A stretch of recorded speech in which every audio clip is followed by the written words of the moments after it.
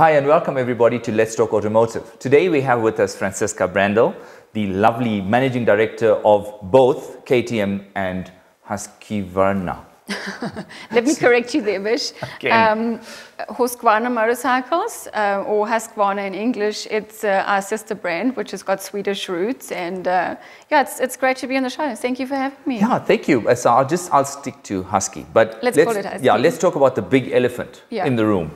Brad, KTM, MotoGP, everybody's blown away. It's been absolutely phenomenal. You know, seeing Brad progress through back in the day on the Honda NSF 100s, uh, getting through the ranks, and Red Bull KTM has got such an amazing platform for talent to, to filter through. So the Red Bull KTM Rookies Cup, uh, then progressing into Moto 3, Moto 2.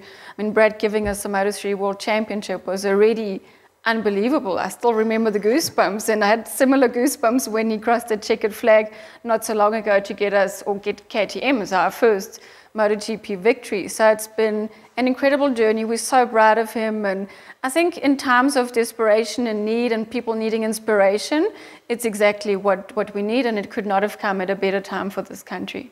As Fran, your background, wh- where did you start to, to reach this point? Um, Well, I started off doing business school and I very much was interested in motorcycles from a young age, initially more into superbikes, but uh, before um, I ventured off into the working world, I finished all my exams and, and all my projects at, at school. And the last two years, I already started an internship at KTM. I worked with our local motorsports club, became the club secretary, and I just, my, my love for motorcycles grew even further into the off road segment. You know, like people are so passionate about it. So it's easier to sell something that you believe in and are passionate about than selling toilet paper, you know. Yeah. So I Well, didn't, unless in the corona crisis. well, I guess so. Yeah, well, that would have been an amazing business. Yeah.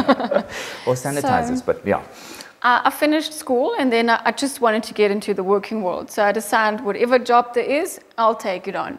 So I ended up at an attorney's office and I worked there and um, I did enjoy it, but my passion was lying elsewhere. So I applied at KTM and they took me on and that was nearly 17 years ago.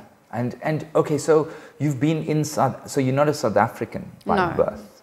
Okay. I'm Austrian. Okay. born and raised, and um, I moved to South Africa in 2008, thinking I was going to be here for six, seven, eight months, and, now, now- we're 12 years later. Wow. Yeah. And I mean, I think that's that's great to see because I mean, Austria is a beautiful country, yes. um, and yet you stayed on in South Africa. I stayed on in the middle of the global economic yeah. crisis, uh, hitting a recession, and I think all the challenges we've had and we've had to face, it's just encouraged us more as KTM to excel, you know, to pick up market share, to launch product, to diversify in the range, to really suit the markets and the people's needs. And I think we've, judging by market share, which I take as a, you know, as a judgment by the buying public. um, measure of consumerism. It seems to be working out for us. Yeah. Oh, I think you guys are doing well. And coming back to MotoGP and superbikes, I remember a time when the RC8 was in South Africa. There were two limited edition I Red remember Bulls. that. Um, I was fortunate to have one of them, and Stunning. It was an awesome bike. It was noisy, it was raw, there was no tr- electronics. That's exactly what it was. It was raw. It was like back to the basics of a superbike. Yeah. Yeah. And um, I mean, you mentioned you, you, you are passionate about superbikes. Mm-hmm. Um, the RC8, you think there's any chance of them developing something in that space? We, we know the market may not be ready for it Hmm. from a point of just from a sales point of view and the R&D that's going to go to put a new bike on the platform. But the engines are there. The I mean, engines are there. Look, so- they're very sophisticated RC16 engines. Yeah. Um, the RC8 was phenomenal. We loved it. Um, when we opened our dealership in Port Elizabeth the other day, I actually need to find out they had that Red Bull KTM RC8 on the floor.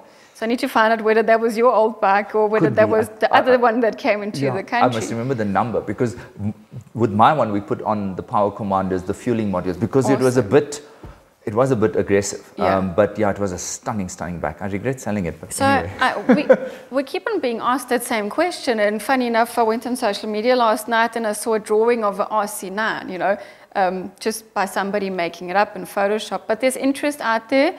And what we do in MotoGP has really lifted KTM's game in the street segment. You know, we're being taken more serious and Superbike technology we like to translate visually into RC125, into RC16. I think superbikes have sort of declined a bit in terms of sales.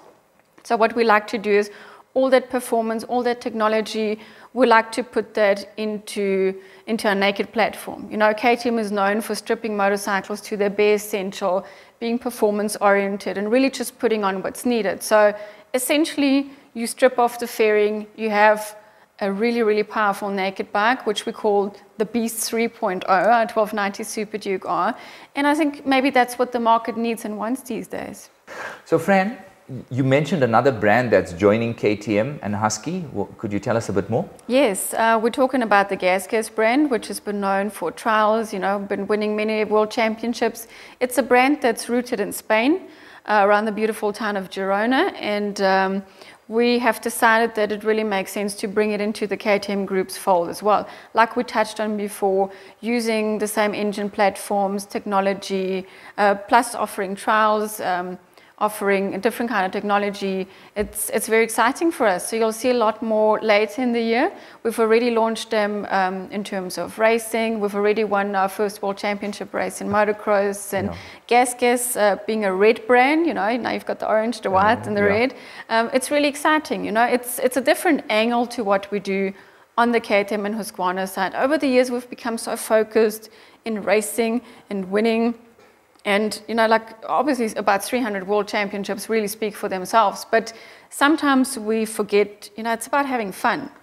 So the link between Husqvarna and KTM, yes. if you could perhaps maybe unpack it a bit for, for us. Yeah, for a lot of people it wasn't quite the logic, um, you know, not, not move, but um, people don't understand that there's been so much history with KTM and the original Husqvarna, I would say. Husqvarna has been known for motorcycles, bicycles, chainsaws, whatever you, you, can think of, they probably have done it. So it's been a brand that's been around since 1903. It's got so much heritage, and Husqvarna was very pioneering in motocross. So what happened um, about two, not more, more decades ago already, um, when Husqvarna was bought out, um, the original engineers, a lot of them decided they want to split away, launch their own new Swedish brand, which then became Husaberg. Husaberg is a brand we then integrated into the KTM group because we believed we've got so many synergies when it comes to racing technology. Um, we used to be quite known for our 70 degree um, engine.